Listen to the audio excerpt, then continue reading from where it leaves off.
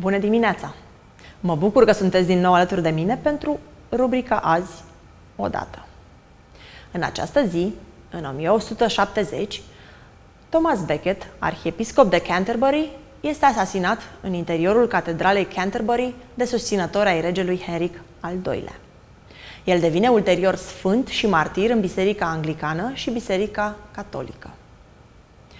În 1893, pe 29 decembrie, a avut loc oficierea căsătoriei dintre principele Ferdinand de Hohenzollern, moștenitor prezuntiv al tronului României, cu principesa Maria, fica ducelui Alfred de Edinburgh, Coburg și a marii ducese Maria a Rusiei, la Zingmaringen, în Germania. În 1843 s-a născut regina Elisabeta a României, soția regelui Carol I a României. Aceasta era poetesă și scria sub pseudonimul Carmen Silva. Patroana artelor, fondatoare a unor instituții caritabile, eseistă și scriitoare, ca fondatoare de instituții caritabile, regina Elisabeta a României a fost supranumită de oameni din, oamenii din popor Mama Răniților. Până în anul 2000, astăzi, se sărbătorea Ziua Internațională a Biodiversității.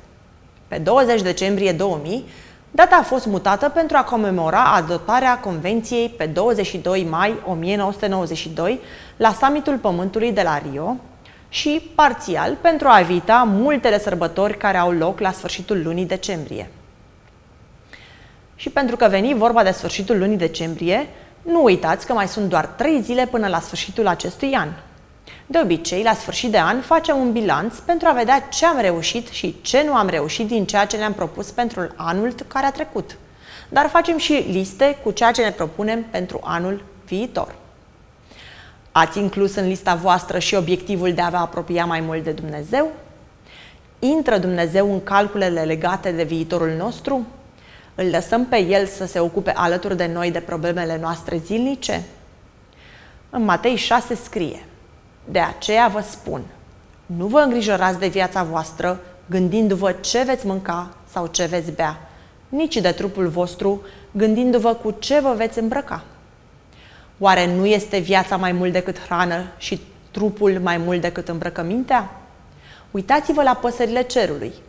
Ele nici nu seamănă, nici nu seceră și nici nu adună în hambare. Și totuși, Tatăl vostru cel ceresc le hrănește. Oare nu sunteți voi cu mult mai valoroși decât ele? Și apoi, cine dintre voi, îngrijorându-se, poate să adauge măcar un cot la firul vieții lui? Și de ce vă îngrijorați de îmbrăcăminte? Uitați-vă cu atenție cum cresc crinii de pe câmp. Ei nici nu trudesc din greu, nici nu torc. Și totuși vă spun că nici chiar Solomon, în toată gloria lui, nu s-a îmbrăcat ca unul dintre ei. Iar dacă Dumnezeu îmbracă astfel iarba de pe câmp, care astăzi este, dar mâine va fi aruncată în cuptor, oare nu vă va îmbrăca El cu mult mai mult pe voi, puțin credincioșilor? Așadar, să nu vă îngrijorați zicând ce vom mânca sau ce vom bea sau cu ce ne vom îmbrăca, căci toate aceste lucruri neamurile le caută. Tatăl vostru cel ceresc știe că aveți nevoie de toate acestea. Căutați mai întâi împărăția lui Dumnezeu și dreptatea lui și toate aceste lucruri vi se vor da pe deasupra.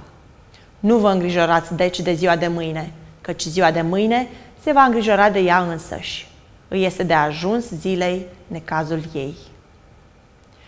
Sunt Rahela Petrescu și vă aștept și mâine la aceeași oră pentru a afla mai multe despre istoria noastră.